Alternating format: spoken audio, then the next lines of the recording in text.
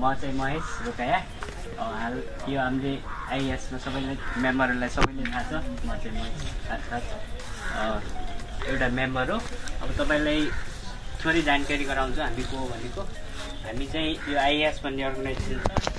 एउटा हामी BSCG Tikapur TMC Tikapur मल्टिउड क्याम्पसमा बिएससिजी अध्ययनरत छौँ।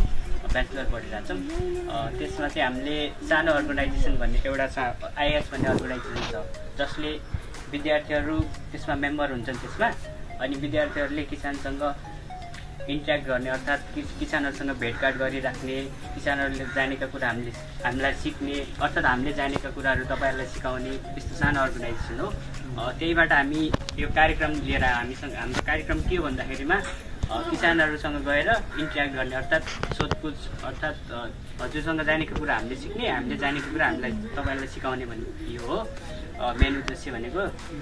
अब यसमा हामी सधैँ आइरहेको छौँ यस्तै घुमिरहेको छौँ अरू अरू अरू अरू ठाउँतिर पनि गइरहेको छौँ अ, यस्तै सर्वे गर्नु गर- गर्न जस्तै डाटाहरू लिन किरा फटेङ्ग्राहरूको कस्तो छ असर अनि उत्पादनहरूमा कस्तो कस्तो छ भन्ने कुराहरू हेर्दै हेर्दै गरिरहेको छौँ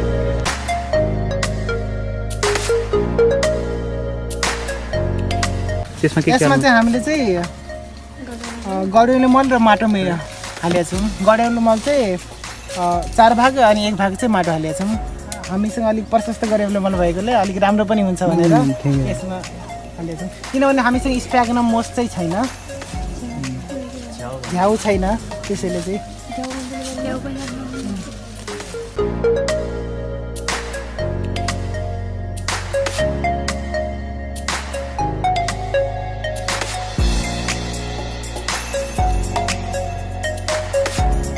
प्लास्टिक हो अलिकति हजुर हुन्छ तर यहाँबाट कालो यो झिल्लीमा त तपाईँले जडा आएको छैन कि छ कि छैन भनेर सजिलै थाहा हुन्छ नि त। अर्कोमा चाहिँ थाहा अलिकति गाह्रो हुन्छ नि त